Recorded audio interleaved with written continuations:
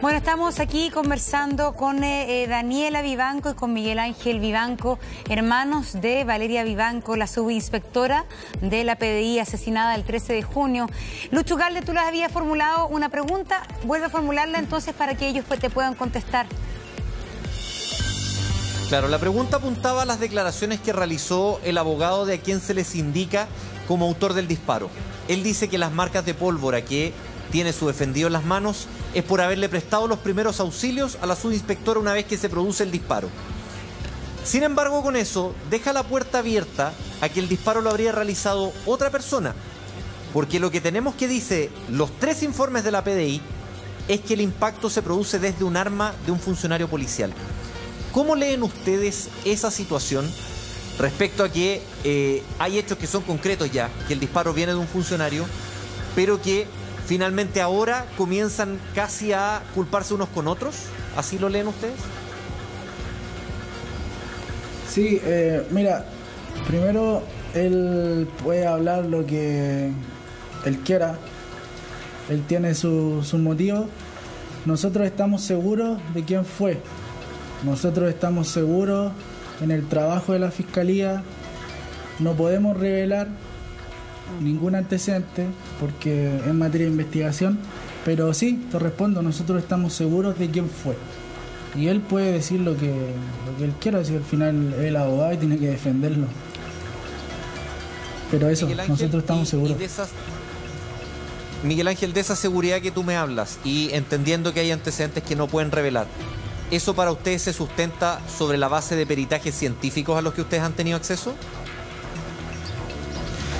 Tampoco te puedo responder porque te, estaría afirmando que hay pruebas o no hay pruebas o se están haciendo, ¿me entiendes? Entonces yo lo único que te puedo decir es que como familia tenemos la seguridad de que, de que fue así. En todo caso, eh, vale la pena aclarar que salió en la prensa el fin de semana de que este, este oficial de la PD imputado tiene huellas de plomo, antimonio, vario, gases de producto de la, de la detonación de un arma en ambas manos. Eso salió en la prensa. bueno, si salió en la prensa eh, no lo sé, pero tampoco te puedo revelar si hay más pruebas o, no hay más pruebas o qué, o, qué prueba tan específica existe. Eh, pero lo que está claro a todo Chile es que la bala salió de un policía. Daniela, ¿ustedes han conversado con otros, con otros eh, compañeros de su hermana? ¿Qué les dicen de esta teoría de que de que las manchas de plomo antimorio, varios, los restos, las trazas, hayan sido por manipular, por tratar de contener la herida. Sí, mira, y te respondo lo que me mencionan, eh, que es imposible. De hecho, risas.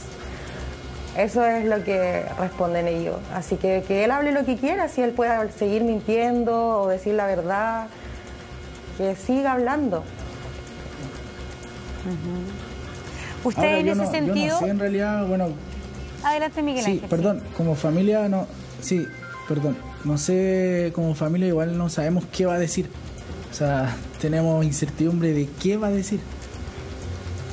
¿De qué lo, cuál va a ser? ¿Qué es lo que va a declarar él? El primero de septiembre. El primero de septiembre. Exacto, sí. Mm. Me imagino que ustedes están esperando, es muy importante la fecha para ustedes. En ese sentido, la, pregunta es, ¿ustedes están tranquilos con eh, en este minuto cómo está trabajando la Fiscalía? Eh, ahí eh, tiene, está suficientemente empoderada la Fiscalía también, eh, puede hacer el contrapeso, porque todos sabemos que la PDI es una institución que trabaja codo a codo con la Fiscalía. Esto lo está investigando Carabineros. pero aquí se entrecruzan muchas instituciones ¿no? e intereses cruzados. Entonces, en este minuto, ¿cuánta confianza tienen en que la Fiscalía va a poder llevar adelante bien su trabajo? Eh, bueno, sí, nosotros tenemos que confiar en alguien. Y ese alguien es el trabajo de la fiscalía. Esperamos de ellos la máxima honestidad, la máxima entrega para continuar con la investigación. Y confiamos, confiamos, queremos confiar en el departamento, en el OS9 que está llevando a cabo la investigación tanto de homicidio, posible homicidio y obstrucción a la investigación que a todas luces hay obstrucción en la investigación. Así que yo como familia también, no solamente esperamos eh, que avance el, tema del homicidio, posible homicidio, sino que también avance el tema de obstrucción a la investigación. Es difícil acreditar o probar que aquí hubo obstrucción, es difícil probarlo ante un juez, pero, pero ahí vamos. Confiamos y esperamos que, se aclare todo y que caigan los mentirosos los que encubrieron. Miguel Ángel, perdón, un poquito Lucho. ¿Quién, le, pide perdón a tu papá y le da la mano? ¿Es Carrasco Márquez? Carrasco. Carrasco, el jefe nacional de homicidios. El jefe nacional. De la brigada de Porque el que remueven, el que remueven es a Márquez. No. Al de la región metropolitana. Claro, no, no de la brigada de homicidios. Ah, sí, no de es el jefe nacional de Claro, es el jefe nacional de homicidios o delitos contra las personas. Claro. Y, de él dependen todas las unidades de homicidio del, Claro. El que le pide perdón es el jefe nacional. Y el que lo remueven del cargo es de la, Brigada de Homicidios Metropolitana. Metropolitana, que es Márquez. Márquez lo pasa a, lo, otro, pero el que le pide perdón es Carrasco. Exacto. Sí, que, es como más alto. Y Márquez. Sí. Sí, sí. Márquez, Márquez era jefe de la BH Metropolitana. Sí, claro y lo sacaron de ahí por transparencia y no sé, como que lo castigaron y lo pusieron en labores administrativas. Y nosotros sabemos que el director actual lo destinó a la Jefatura Nacional de, de Tecnologías de la Información. Una oficina como de 200 metros cuadrados hasta con tres secretarias. Entonces, es una burla por todos lados. O sea, lo cambiaron de posición. ¿Tú crees que lo sacaron del ojo público, básicamente? Sí, exacto, lo sacan de la ecuación. Porque se protegen, yo lo, yo lo he dicho reiteradas veces, se protegen entre ellos. Claro, porque... de hecho, yo creo que el, jefe nacional de homicidios debiese salir eh, también removido, porque el, el, hermano de él es quien lo fiscaliza. Entonces ahí hay como una evidente eh, contradicción. O sea, no puede ser. El, claro, siguiendo lo que dice la Dani, el hermano de él. a ver, ¿cómo es eso? Pero Miguel Ángel de la fiscalía, para que nos cuente Dani, a ver, cuéntanos. O Miguel Ángel. le quiero dar el pase a Miguel Ángel porque él, él tiene bien clarito cómo es la información de eso.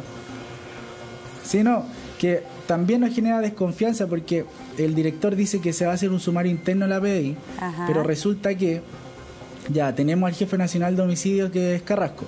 Y tenemos a Rodolfo Carrasco, que es prefecto inspector y es eh, prefecto de la Inspectoría General de la PDI. Son los que revisan, los que fiscalizan el asunto interno y es el hermano. Entonces, el mismo hermano va a fiscalizar a su hermano. Eh, pero eso es impresentable. Así como removieron a Márquez. Está lleno de hermanos, es que, por transferencia. quien finalmente tiene la labor de fiscal interno, puede ser, de inspector en este caso se llama, no puede tener contacto o ser eh, con otro miembro de la jerarquía. Porque justamente lo que se trata es que internamente haya un tipo de fiscalización de, modo independiente. Entonces yo no sé si esto es un vacío legal administrativo al interior de la PDI o derechamente se está eh, infraccionando algo que la verdad que a ojos vistas, sentido común, no debiera ocurrir. Miguel Ángel. Sí, no, Monse, para aclarar. A ver, el sumario interno lo está llevando Ulibarri, es un prefecto, no me acuerdo el nombre, pero él está llevando el sumario interno. Eh, pero eso, el antecedente que te señalo es grave. Como tú lo dijiste, es impresentable. Él, está involucrado en la investigación. Sí, claro. Que debería inhabilitarse. no, no, puedo asegurar que él está involucrado en la investigación, pero él es. Por probidad. De la Inspectoría General de la PDI, el que revisa los asuntos internos. Y él es pariente, él, es de apellido Carrasco. Son hermanos. Sí, sí, él es Lo que tú me quieres decir que Ortiz. El inspector, para entender el organigrama interno, el inspector Carrasco, mm. la función de él es hacer una función de control interno. Sí. ¿Ya? Y me imagino que... Una especie de... De fiscalía interna. Él es el que, en el fondo, cuando hay problemas o algún tipo de irregularidad, él es el que investiga los sumarios, por ejemplo, los sumarios que son habituales. su departamento? Sí, eh, me imagino que sí. Mira, no es que no tenemos la información de la función que realiza esa persona, solo tenemos el cargo y el cargo, y según nuestro informante, ya que es una persona que era de la PDI, que sabe todo, este cargo del hermano del señor Carrasco es quien fiscaliza a su propio hermano. Sí, respondiendo a eso, Monse, es el que fiscaliza. Sí, él fiscaliza. Y él fiscaliza todo procedimiento. Por lo tanto, la información obviamente que la tenía el señor Carrasco y su hermano y el director de inteligencia, porque si no nos explica cómo fue el director de inteligencia, el actual director de ahora en estos momentos. Sí. Y él se le da las manos diciendo que no sabía, si eso es lo, más lo más cochino, perdón la palabra. Pero... Los tremendos nadie cargos sabía y nadie que había, sabía. Que había un informe cinco días después de ocurridos los hechos. Exacto. Eso es impresentable como tú lo dijiste, Monse. Todos los cargos gigantes, imponentes, ninguno sabía esto. Eso es increíble. Daniela. Lo que pasa es que Daniela, eh, y, y de Julio. Sí muy breve, para preguntarle a Daniela, ¿a ustedes les dijeron el conducto de quién era la primera persona o el primer departamento que tenía que recibir el informe de la CRIM? ¿Llegaba primero a la Brigada de Homicidios Metropolitana o llegaba primero al Jefe Nacional de Homicidios? Lo que pasa eh, es que eso es materia de la investigación. Ellos están investigando cuál es el proceso, ellos van a ver eso. Nosotros no, podemos manejar tanto ahí, pero como te mencionaba, los cargos tampoco saben quién era el primero que tenía que recibirlo. No, no, tenemos seguridad, pero me imagino que la DH metropolitana, porque mi Valeria trabajaba ahí, para ellos. Y de ahí pasa a la Jefatura Nacional de Homicidio. Me imagino que por jerarquía tiene que ser así. Ahora no estamos seguros si funciona realmente así. Yo una vez eh, estaba investigando una nota de, un, de Carrasco por un incidente que tuvo interno cuando era profesor. Interno, tuvo un incidente, uno de los Carrascos. No me voy a ir de boca, pero... Eh, por eso sé que eran hermanos Carrasco, pero mira, aquí lo que yo no... ¿Por qué te pregunté si era Carrasco Márquez que le había dado la mano a tu papá y le había dicho que, que perdonara a la institución que lo perdonara? Es súper relevante porque Carrasco, que es el jefe nacional, ¿no es cierto? Es bien relevante. Era el director de contrainteligencia cuando Espinosa, que todavía estaba para el 17 y para el 13 como director de la PDI, cuando Espinosa era el eh, jefe nacional de inteligencia de la PDI. Cuando Espinosa, que era el director, cuando ocurrió todo esto, era el jefe nacional de inteligencia, Carrasco era el jefe de contrainteligencia. Entonces, de verdad que uno no puede creer que si Carrasco le da la mano al papá de Valeria y le dice que lo perdone, que lo disculpe, que esto fue. La bala salió de, un, agente de, la, de la PDI, no le diga Espinosa que era el director. O sea, al menos es. Claro. Eh, eh, eh, por eso, ahora le preguntaba, porque al que removieron fue a Márquez, pero dejaron a Carrasco. algo pasa ahí que o tiene que ver que un hecho se tapó y se empezó una bola de nieve a generar, o hay una cuestión que no es bien inexplicable, no sé si es negligencia o si no es... Es que acláreme que eh, cuando Sergio Muñoz, el actual director de la PDI, o no, el jefe, perdón, Carrasco le dice a tu padre, ¿se lo dice en el funeral de Valeria? No, no, no, la fiscalía. ¿Se lo dice después en la fiscalía? la fiscalía. No, no, no. ¿Se lo dice en qué se fecha? Lo dice la fiscalía, el día 2 de agosto. Citan. El día 2 de agosto. Citan cuando esto se empieza, ya, cuando, empieza a salir esto a la luz. Cuando se da a conocer el informe. Sí, exacto. Sí, el informe lo mandaron el día 5 de agosto mágicamente cuando eh, nuestra abogada se enteró de que estábamos cambiándonos de abogado, llegó solito, pero un informe preliminar policial, ni siquiera la carpeta investigativa. No, y el, 2 de agosto fue donde citan a mis papás. Y el señor Carrasco le pide perdón, fue el 2 de agosto. El 2 de agosto. Y, lo más. Eh, eh, sí, pues eso es lo más tonto de esto, que el director señaló hace poco en una entrevista que él no sabía de eso. O O sea, lo que señala Julio César. ¿Por cómo? ¿Por porque si el informe está listo el 17, ¿quién sabía a quién le evacuaron el informe el 17? ¿Quién tomó razón de ese informe? ¿Dónde quedó guardado ese informe el 17? Carrasco, Márquez, Espinosa. Porque si matan a una joven con, la fuerza mediática que tuvo la muerte de Valeria, con la asistencia del presidente de la República, pues aquí, aquí también, aquí, aquí también el presidente de la República, me imagino que se siente también vulnerado, ¿no es cierto? O sea, él fue eh, y no, no, no, no, no sabía nada, ¿no? Entonces, él fue al CPL y todo, o sea, con, con todos los medios de comunicación, con esta tremenda eh, mediatización del caso, si el día 17 te llega un informe así, no creo que se lo pasen a un portero, a, una estafeta, no. Me imagino que ese informe va al menos preguntaba el conducto. del lugar a los más altos rangos, ¿no es cierto?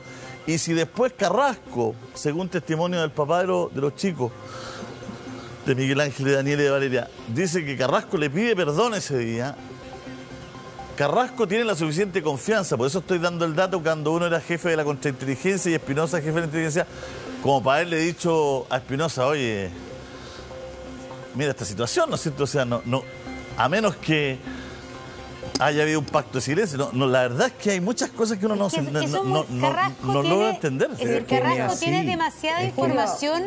A mí cuando, cuando nos cuenta Miguel Ángel esto, el padre de Valeria, y que Carrasco le dice, perdónanos, no sé la palabra exacta, fue alguien de la institución, es, Carrasco de alguna manera confiesa la verdad antes que todo esto finalmente empezara a saberse y ya tomara el curso legal. Pero a mí me asombra mucho lo que declara tu papá, Miguel Ángel y Daniela. Es decir, acá hay una confesión, podríamos decir, por parte de la PDI. Sí, y Julio, le das en el clavo a lo que tú mencionas, tal cual nosotros lo pensamos.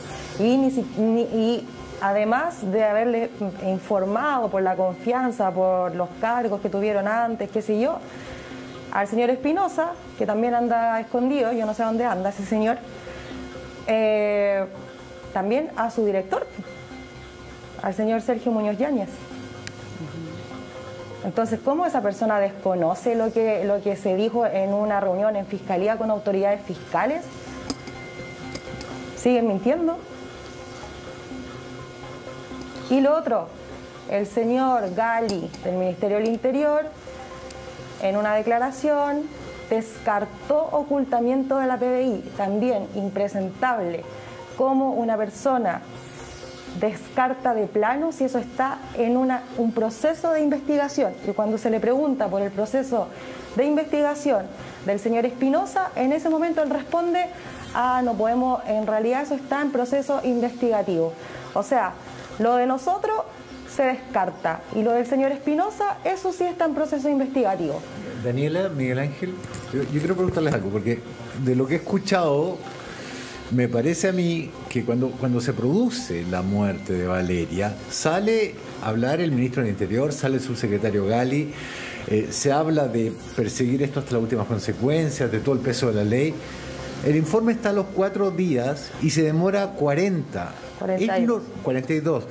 Mi pregunta, y creo que la respuesta es más o menos clara, es, durante 42 días nadie preguntó qué pasa con este informe. Durante 42 días a nadie en la jerarquía de la, del laboratorio criminalística, del departamento de, investigación interna, dentro del subsecretario, del Ministerio del Interior, el subsecretario, nadie dijo por qué no tenemos el informe acá y si lo tuvieron. ¿Por qué no han venido a explicarle a ustedes si ustedes desde esa fecha hasta ahora no tienen información oficial, solo por la prensa? Digamos, no ha habido nadie desde, desde la PDI, desde el Ministerio del Interior o la subsecretaría que venga a hablar con ustedes. Nadie. No, nadie, un abandono total, un abandono total. Eso es, nadie, no sé, tienen miedo. Eh. Y ese interrogante que tú nos preguntas es la interrogante que eh, es... Que todos se hacen. Que todos se hacen y que eso tiene que estar en la investigación. Eh, la gente que está investigando la obstrucción a la información tienen que ver que, a quién le correspondía entregar ese informe, o si ese informe que se quedó ahí dormidito. Y si pasa eso con una persona que, que murió asesinada, imagínate lo que pasa entonces con otros casos. O sea, ¿qué le queda también a la gente? ¿Cómo va a confiar ahora? Y en el servicio médico legal, que es lo que yo dije en primera instancia cuando ocurrió la reconstitución de escena, que yo mencioné, el informe de la PDI dice que la bala fue de frente. El informe del servicio médico legal dice que la, la bala fue de frente. Por las pericias que nos hemos enterado, la bala fue por la espalda. O sea, dos médicos expertos se equivocaron. O sea, todo, todo es una equivocación, un error. Y si fuera así, también un error, alguien tiene que pagar ese error. ¿Quién lo va a pagar? Entonces, de verdad, esto es una burla, es un chiste. Sí. Y nosotros todo lo que hemos declarado que es súper importante, yo creo que ustedes tocan, que todo es la investigación que se haga interna de la institución, la investigación que haga la Fiscalía, pero acá hay un Ministerio del Interior que es el jefe de la PDI. Entonces aquí también hay una dimensión de alguna manera de fe pública, política, que el propio gobierno tiene que asumir.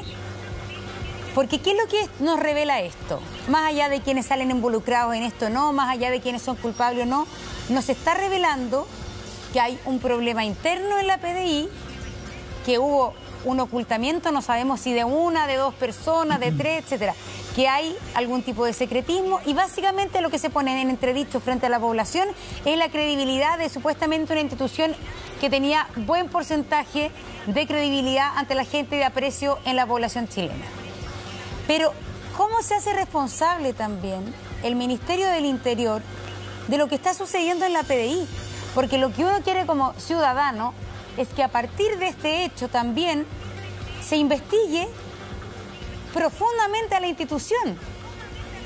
Porque si esto ocurrió, la institución amerita ser investigada y ver realmente qué es lo que está pasando, cómo se mueven las cosas, cómo se toman las decisiones, cómo se hacen los operativos para que finalmente se vuelva a creer en una institución y si existen problemas de corrupción, existen problemas de ese tipo, sea la institución civil, que es su superior, que es el Ministerio del Interior, se haga cargo de esto. Eso es lo que... Simón, mínimo objetividad las declaraciones del señor Gali. Objetividad, no descartar de plano. Si eso está en proceso investigativo. Sí, porque él afirma, él en sus declaraciones públicas afirma que la PDI no, no hubo un ocultamiento. O sea, él lo afirma. por eso te digo que es una burla. Claro. Él afirma eso. ¿Por qué lo afirma? Si está en eh, un proceso investigativo. ¿Dónde claro, está la lo que uno esperaría es que diga, tenemos que investigar esto a fondo. Claro, esa disposición. ¿Le compete a otro poder del Estado decidir eso? Exactamente, le compete a otro poder del Estado. Y esta es una oportunidad para ellos para que se limpien, o sea, mm. para que la gente vuelva a creer en ellos. Claro, ahora están mal, eh, su prestigio se fue al suelo, con razones, pero también es una oportunidad para que su prestigio un poco se levante. El prestigio de la PDI, el prestigio de Carabineros, que nos está ayudando en la investigación, que esperamos, por favor, nos ayuden con esta investigación de manera muy profesional, y el prestigio del Ministerio del Interior y de todo, porque si ellos hablan con la verdad, la gente lo va a valorar. La gente de verdad lo valora. estamos en un escenario muy malo porque, Luchito, ayúdame, según la reconstitución de escena, nadie disparó.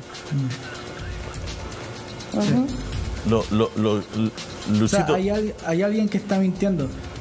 Claro, es que una locura. Imagínate hacer una reconstitución de escena con alguien que ha fallecido con una bala, de una bala, y, que hace una reconstitución de escena y, que nadie disparó.